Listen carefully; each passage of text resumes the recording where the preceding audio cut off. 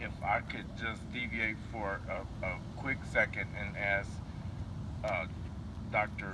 Wagner to share what, what he said out in the corridor, it would help some of the people to get a broader understanding about where we are with this uh, particular second right now, as opposed to me trying to translate and state what I heard him say. So it's like, wow, okay, thank you. Good morning. May I also have permission to address the crowd? Permission granted. Thank you.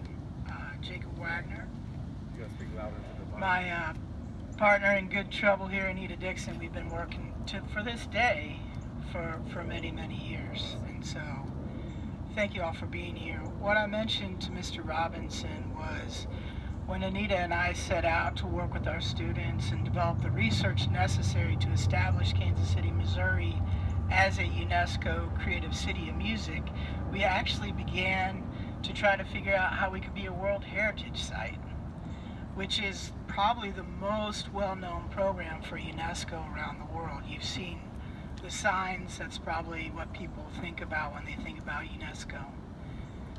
And what I told Mr. Robinson is this place is a World Heritage Site. It's just not on the list yet. Because it has what we call outstanding universal value. And what we're celebrating today is the outstanding universal value of this place for cultural heritage around the world. So thank you. Thank you so much.